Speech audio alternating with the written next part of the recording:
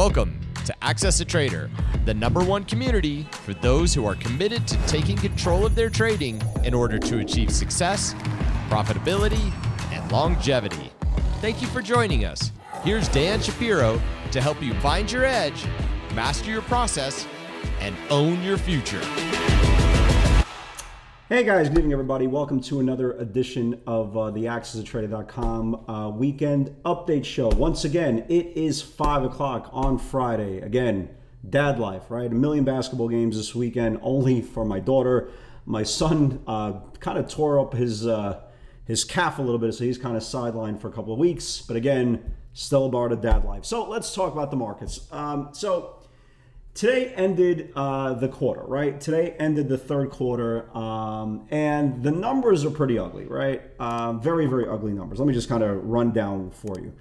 For the quarter, right? For the quarter. Uh, let's see here. Let's see here. Let's see here. Let's see here. Uh, well, how about this? For the month, the S&P 500, right, down 9.3%. That's a lot.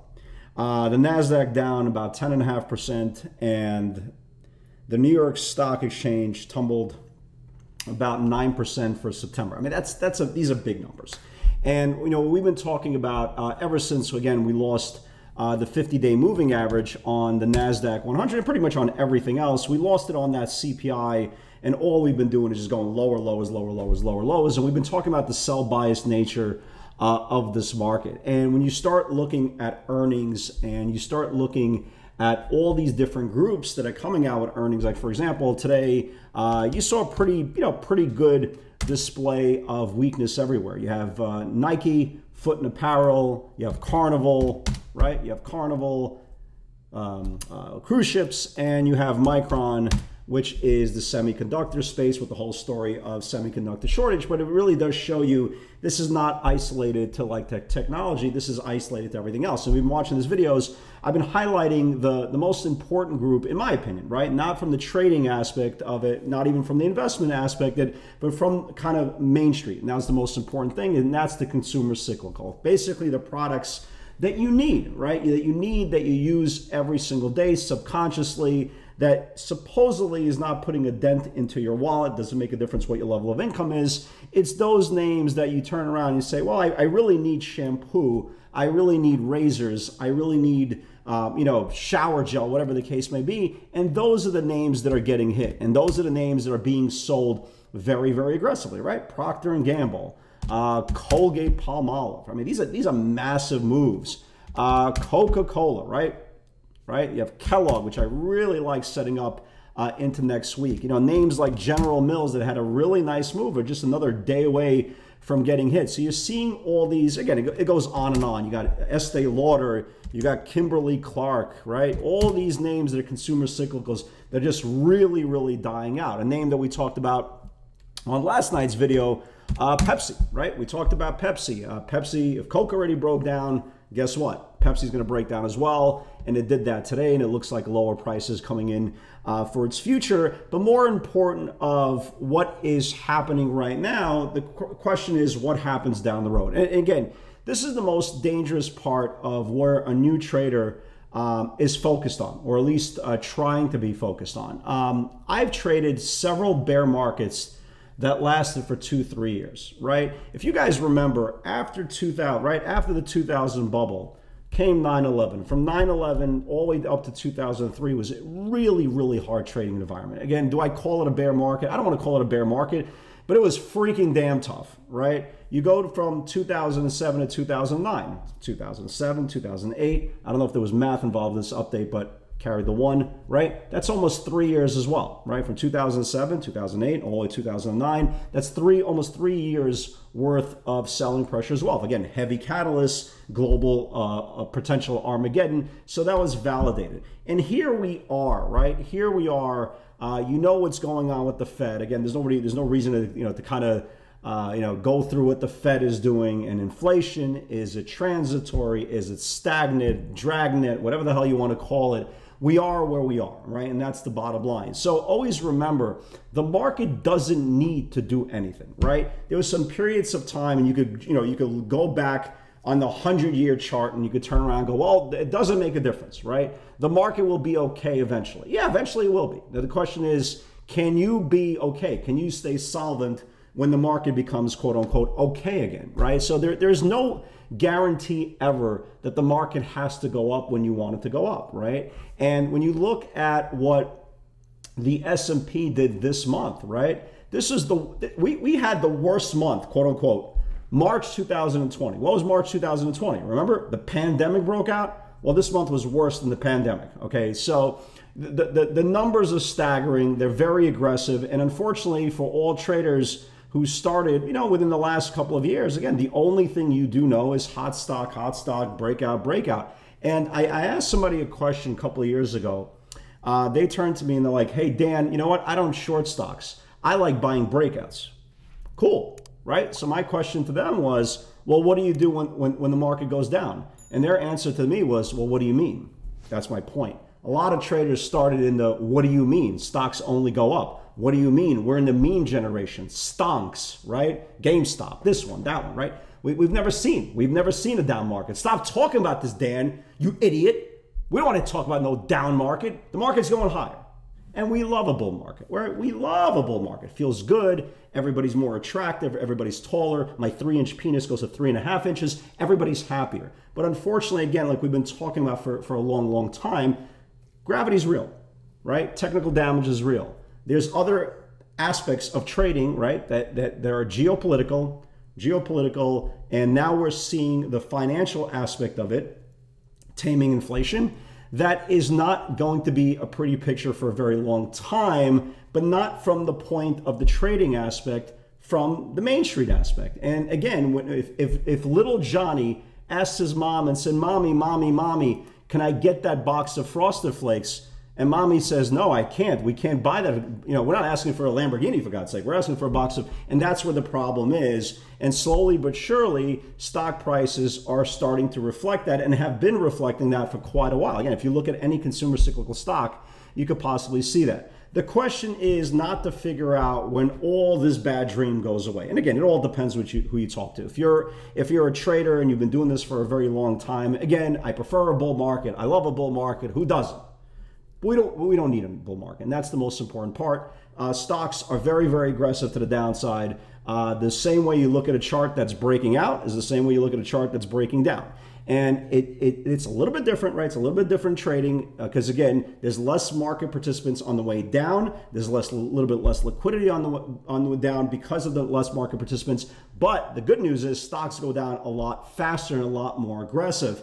And the one thing, and again, I'm, I'm gonna I'm gonna reiterate this to to newer traders. Okay, there's no such thing as a breakout during a bear market, right? There might be a stock that's green on the day, and it might have its 15 minutes, maybe even two hours of glory but the end of the day, no matter how strong that stock was or is, or you think it's going to be, the laws of the laws of uh, the laws of bearishness, right, kicks in, and that stock doesn't become strong. And all you got to do is look at any stock that was strong today, right? Snow today was very, very strong, right?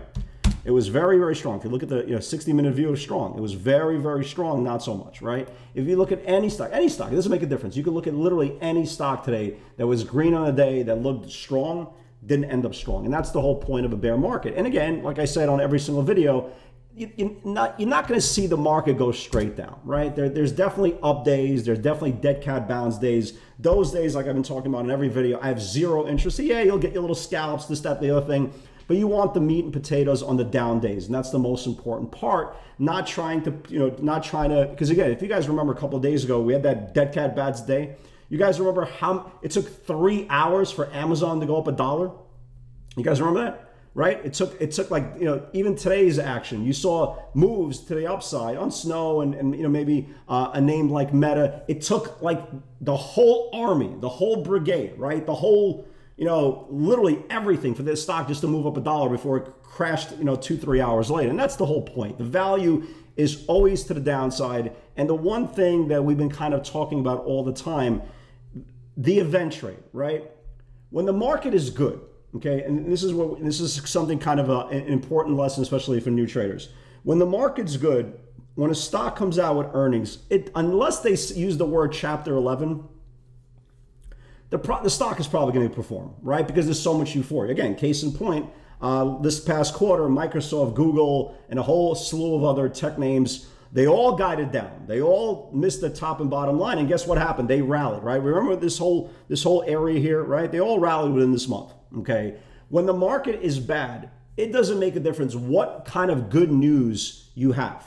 Doesn't make a difference. It's going to sell everything and ask questions later. It's just kind of the reality. The majority names, no matter what the event, no matter what the catalyst, is going to sell. So, case in point, right? Let's talk about Tesla. So, if you've been watching the video now for the last just over this week, we've been talking about uh, we've been talking about this AI event, which I I don't know what time it starts. It's right now. It's Friday. It's five o'clock Eastern time. I think at some point it's coming out uh, some sort of some sort of news. Maybe they got some robot or something. Sounds cool, right? It absolutely sounds cool. But again, if you're watching this video for the first time and you haven't watched any, any prior videos the last few days, there's been a lot of institutional sell bias on this stock, not just because uh, not just because people hate Tesla. People don't hate Tesla, right? There's a lot of there's a lot of uh, people who don't understand the technology or hate on Elon or hate on the car. We love, you know, we love Tesla, right? We love it. Again, upside, downside. We love the car. We love the boring company. We love the flamethrower, right? When I at Halloween, I'm going to use a flamethrower on my mother-in-law, right? So we love all that, okay? But the one thing the market goes based on what we just talked about when an event happens is the market doesn't care. So the AI event starts up at some point uh, this afternoon. There's always, I think there's also some sort of inventory, uh, excuse me, the deliveries uh, this weekend. And let me say this much, all right? There's a high probability, and also institutional money flow. If you guys have been watching this video, they've been betting nonstop, deep out of the money puts this whole week. There's not a lot of there's not a lot of um, um, there's not a lot of optimism, right? At least from institutional money flow, that this AI is going to change something uh, that the that the world is seeing. Again, I could be wrong. I could be absolutely wrong. But I will say this much, okay? Uh, nothing is a buy into the event, right? And again, you see it. You know, Tesla got sold off this whole day, this whole week. It's closing at the bottom of the range, and all I all I know is I don't care about an event. I don't care about anything else. I don't care about the deliveries. I don't care about anything else, right? Anything, anything in the world. The only thing I care about is this channel right here going into Monday session. So if they release their event and they release their robots and everything else in you know in the world, Doge shit, Dogecoin, whatever, anything, anything, any news, right? The point is, if they sell off that news, okay, and they start and they start violating this bottom channel here, the only thing I know is there's 25 points of downside. That's all I know, right? So we don't know about uh, delivery, anything else in between. We know technical analysis. We survive, breathe, eat, fart, everything in between about technical analysis, not the news. It's how it's not the, what the market says, right? It's how the market trades off that news. So if there is, right, if there is some sort of good news and they do gap Tesla on Monday, I am not looking for a gap and go. I am looking for a gap and crap. And if this bottom channel, right, if this bottom channel starts getting violated, yeah, you can see how much room you have downside. Here's the crazy part, right, for all you kids in, in, the, in the gallery. If this stock actually goes higher, guess what? The worst case scenario, we buy stock. So scary, right? That's exactly what happens. Guys, have an opinion. No matter how what type of trader you are, no matter how many years you've been trading, don't be afraid to be wrong, right? That's how that's how every thesis is built. And we don't do something on anticipation. Again, we could be having this conversation Monday morning. Hey, can you believe Tesla went up 20 points today? Hell, was I wrong, right? We don't care about being wrong. It's not a popularity contest. It's not about clicks and likes and shares and all that nonsense. Smash the like button, bro, right? It's not about that. It's all about taking data and trading off that data technically. There's no anticipating. Uh, there is no positioning overnight ahead of an event. It's all about what happens next. And if you look at the surface, if you look all the data that's been consumed in the stock over the last week or so, then yes, the institutions are betting against the event. I am looking at the bottom channel here, and all I care about, right? I don't care if the stock is here, here, here. All I care about is if the stock continues to get below this channel here, and then you have a lot of room to the downside. So it's very, very important to understand. Again, we all love Tesla, right? Beautiful car, great trading stock. We love a good, good bull market because there's nothing crazier than Tesla. But guess what? There's nothing crazier than Tesla to the downside as well. And that is at least where the value is going to be. So going into this week, uh, again, you got to start looking at a bigger picture, right? You have a potential move uh, all the way down to the 64 level on the Qs. Uh, if you look at the weekly view, and this is where you know this is where you know you start uh, start looking at a bigger picture because you can't even see the chart anymore, right? We closed below this trend line that started a long time ago, below the trend line for the first time in a long, long time on the Qs, right? If you look at the SPYs, SPYs did well. They they they, they basically stopped right on the trend line. And if you look at the IWM, right, they are below this monthly trend line. So that's not a good thing. So the only way, guys, always remember this, the only way stocks are ever going to go higher, they have to take out the previous channel, okay? We had that opportunity on Wednesday and the bulls failed, and that's the most important part. And yesterday, right? Yesterday they couldn't get above the previous day's high. And today, right? And today, wait, what, what channel? Oh, this is IWM. I know it looked, it looked weird.